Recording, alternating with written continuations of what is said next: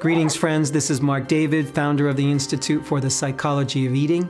Today's topic What is evolutionary nutrition and why is it so important? Usually, when we look at nutrition, whether we know it or not, we tend to view it as the kind of science where we simply need to get things right. Meaning, the assumption is pretty widespread that there must be an ideal diet. And once we determine what that ideal diet is, then we can relax and push the nutritional cruise control button. We have the answers and we don't need to search anymore. Some nutrition experts feel that we simply need to look into our past to what our ancestors ate and find the one true diet from there. Other experts believe that we simply need more scientific sophistication to alter the genetic structure of our food and perhaps even alter the DNA of the body. And with this genetic wisdom, we will somehow create nutritionally optimal human beings. But what most approaches to the field of nutrition tend to miss is one all important concept. We are still evolving as a human species. We're still evolving as a planet. We're still evolving metabolically. Furthermore, we're still evolving culturally and spiritually and more. Evolutionary nutrition alerts us to this simple and all important fact. We're still evolving. It would be easy to assume that human beings, as we are right now, we're at the flowering of our biological evolution. We've made it. We've reached the top of the food chain. But what I would like to suggest to you is that nothing could be further from the truth. So if we truly want to create a healthier nutritional present and a brighter nutritional future, we need to reimagine how we see things. So yes, we need to look to our nutritional past to get important insights into how we can practice the art of healthy eating today. This is extremely important and is one of the key driving forces in the field of nutrition. But we have to put ourselves in the context of being an evolving species. In fact, it can be argued that from a genetic standpoint, we're changing pretty rapidly. The field of epigenetics is clearly showing us that gene expression can change in a moment's notice in response to foods, nutrients, herbs, thoughts, feelings, environmental toxins, and so much more. So many people get confused in response to all the nutritional systems and all the differing opinions that are out there. But essentially, what you're seeing is nutritional evolution in action. Meaning, every nutritional expert, scientist, and clinician who's touting a new way of eating is participating in the beautiful experiment called self evolution we can literally use our mind and our intention and our intellect to invent ways to help the body adapt to an ever changing world and an ever changing environment. How great is that? Creatures and organisms evolve when they try new strategies. Sometimes life forms are forced into adapting into new challenges. The climate might change, an ice age might happen, a meteor strike might change the face of the planet. Other organisms are getting bigger and stronger around us, and we need to find better ways to protect ourselves.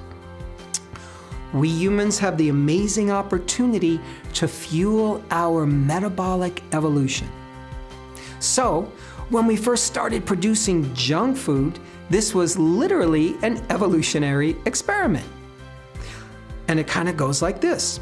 Let's eat mass produced food that's low in nutrition, high in sugar, intensely processed, stripped of nutrients, with all sorts of chemicals that don't exist in nature for added color and flavor. Let's eat all that for a bunch of decades and see what happens. It's an experiment in evolution. And by the way, I want you to consider that this is a failed evolutionary experiment. It's a good try. It made a little sense. Quick and easy food, mass produced at a nice big profit, sold cheaply, easy to purchase. Who could argue with that? Well, the body has argued with it, and it's essentially said no. You know, if you've adopted a vegetarian or vegan diet, then you're participating in an evolutionary experiment as well. Congratulations! According to the battlefield of cultural anthropology, there's maybe one culture that we've identified, a tiny subgroup in India, where we can say with any certainty has been on a long term vegetarian diet for generations. There's virtually a 100% chance that your ancestors, going back for many generations, have been eating animal foods. So when you adopt a diet without animal foods, it's a beautiful evolutionary experiment. Let's try this and see if it works. By the same token, most of the new supplements that appear in your health food store are relatively new to the food chain, especially in the forms that we purchase them in. Consuming superfoods from all over the globe is yet another fascinating experiment in nutritional evolution. Another example, those who adopt the paleo diet are participating in the fascinating genetic experiment called Let's Eat What We Believe Our Ancestors Ate. Let's change up what we've been doing for the last few generations and see what happens to the body. Many people have some pretty amazing results. For others, such an experiment is only short lived. My point is this let go as best you can of what you think is right or wrong when it comes to food and diet and nutrition. Embrace change. Embrace the need to experiment. Celebrate all those experiments that look like they're going well. Criticize the ones that clearly are not working talking about GMOs and the majority of overprocessed foods, oversugared foodstuffs that occupy virtually every inch of every shelf of every supermarket. The beauty of evolutionary nutrition is that your life now becomes an ongoing experiment. So try things. Try fasting. Try cleansing programs. Eat locally grown. Eat organic. Use herbs. Take immune enhancing substances to protect yourself against a hostile environment. And consider each one of these a reasonable and intelligent experiment in your own metabolic evolution. So I hope you can get a sense of how empowering this can be, how interesting it is, and how it takes us out of the conversation of finding the perfect diet and arguing with each other about what's nutritionally right or wrong and I hope you can see that it places us in the laboratory of life where anything's possible, my friends.